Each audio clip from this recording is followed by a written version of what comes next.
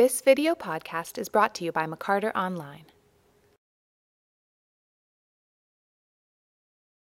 This, well, you know what, this feels totally right. That's what. When I, I first, oh, I said to Emily, oh, I don't know, I think we need this, and then we need that, and then we need, and then the moment we started rehearsals, I thought, I was so wrong. It just flows completely. It seems as if, yes, just as you were saying, there isn't a, well, it's as if it makes it clearer. It makes it sharper. Um, and there's often those moments in Chekhov I felt when I go to watch it and think, oh no, not a Chekhov play.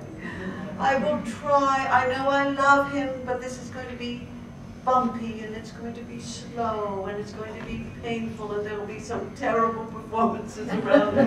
And instead, I really do think this is amazing. And now I think, you know, Anton was there in quad.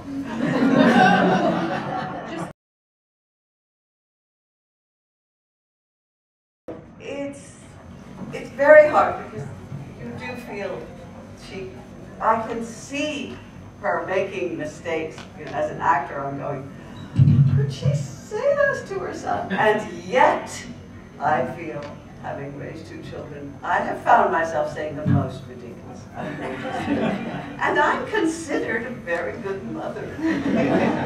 Encyclopedia you know she's a good mother. But those insane things that you say, or those things that you think are perfectly fine, but they've been misinterpreted. And uh, the risks of uh, movies don't grow up. it's, um, it's, it's very, it's very hard to not make her monstrous because she isn't at all. She's a, she's a person who's, she's human, she's got all her stuff to all her baggage and the stuff that's plaguing her and her mistakes. And she has, at least in my, you know, my mind, she's got a depressed son.